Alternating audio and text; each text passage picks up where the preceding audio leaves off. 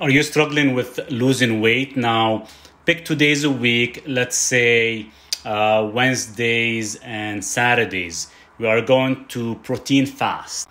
During the process of uh, protein fasting, we can still consume roughly no more than about 15 to 20 grams of protein at max. Our main goal to consume good fats, some vegetables, resistant starches, and maybe one serving of fruits. Here is an example of what you can eat. This is based around two meals per day. So you wake up at 6 a.m., you have one cup of coffee with one teaspoon of MCT oil or possibly caprylic acid 8 just for satisfaction purposes and allows your hunger to be delayed.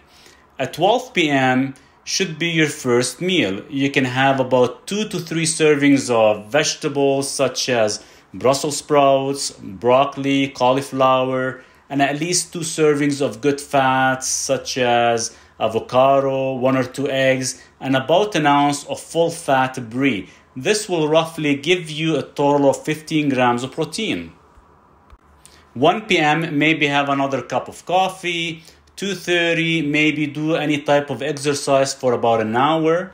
Now moving towards your last meal, make sure it's done prior to 8 p.m one to two servings of vegetables, one serving of resistant starch, such as sweet potato, carrot, yam, two to three servings of fats, avocado, sprouted walnuts, macadamia, olives, and one serving of fruits such as berries, cranberries, blueberries, or coconut.